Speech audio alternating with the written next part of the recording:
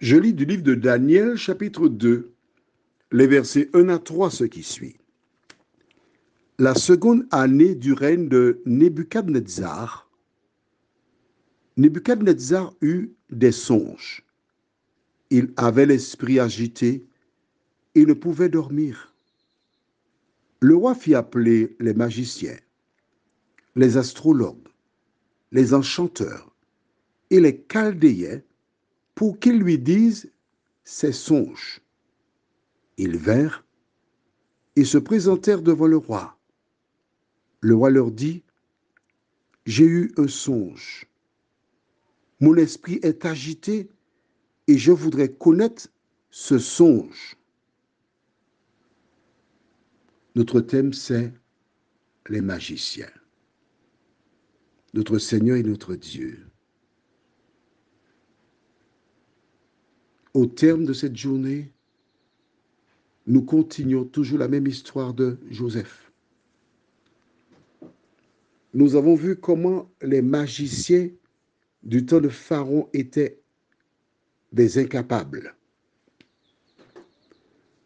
Nous avons aussi noté que ce Pharaon comptait et croyait en la magie. Qu'en est-il pour les autres monarques de ce monde? Aide-nous à prendre le temps pour lire et connaître au nom de Jésus. Amen. Voici un autre roi. Et c'est Daniel, un autre captif d'Israël, qui se trouve à la cour du roi. Ce dernier un jour eut un songe.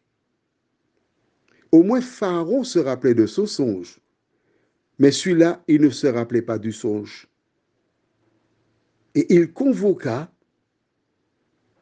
toutes ces personnes spécialistes dans l'occultisme et autres pour apporter des réponses. Alors pourquoi avons-nous vu ce qui se passe dans la cour de Babylone C'est afin que tu saches que voici au moins deux rois célèbres qui fonctionnaient avec les québoiseurs et les dix heures de bonne aventure. Qu'est-ce que Dieu a dit concernant ces personnes, selon toi? Est-ce qu'un enfant de Dieu peut consulter un quimboiseur, un diseur, une diseuse de bonne aventure Quelle est ta position là-dessus? Ou quand tu vas dans les fêtes foraines, on dit, bon, demande ta mais je vais lire les lignes qui sont là pour te dire quel sera ton avenir. Et je peux te dire que les pas foi aux yeux. Un jour, j'ai été dans une pharmacie et il y a une dame derrière le comptoir, très gentille. Mais vous savez, je peux vous dire votre avenir. Je suis venu prendre des médicaments dans une pharmacie. Et la dame était prête à me rencontrer et lire gratuitement à partir des lignes de ma main et me révéler mon avenir. Le diable, il n'est pas froid aux yeux. Allons dans 1 Samuel chapitre 28. Et nous lirons à partir du verset 3. Samuel était mort, tout Israël l'avait pleuré, et on l'avait enterré à Rama, dans sa ville. Saül avait ôté du pays ceux qui évoquaient les morts et ceux qui prédisaient l'avenir. Les Philistins se rassemblèrent et vinrent camper à Sunem. Saül rassembla tout Israël et ils campèrent à Gilboura. À la vue du camp des Philistins, Saül fut saisi de crainte et un violent tremblement s'empara de son cœur. Saül consulta l'Éternel, et l'Éternel ne lui répondit point, ni par des songes, ni par l'Urim, ni par les prophètes. Et Saül dit à ses serviteurs, Cherchez-moi une femme qui évoque les morts, et j'irai la consulter. Les serviteurs lui dirent, Voici à Endor, il y a une femme qui évoque les morts. Alors Saül se déguisa et prit d'autres vêtements, et il partit avec deux hommes. Ils arrivèrent de nuit chez la femme. Saül lui dit, Prédis-moi l'avenir en évoquant un mort, et fais-moi monter celui que je te dirai.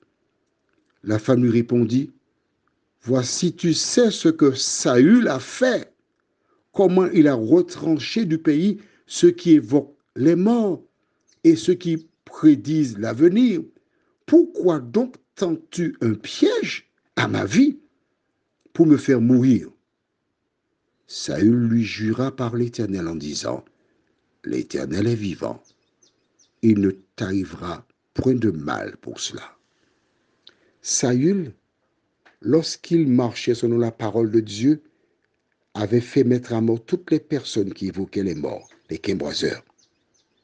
Mais lorsqu'il lâcha la main de Dieu, il alla vers cette femme. Il n'y avait pas de magicien dans le royaume d'Israël. Parce que ce sont là les œuvres des ouvriers du diable. Prions. Mon Seigneur mon Dieu, nous voici devant toi.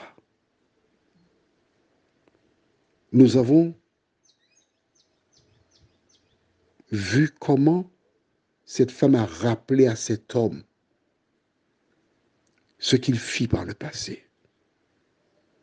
Mais ébloui par les belles bêtes, il rejeta la parole de Dieu.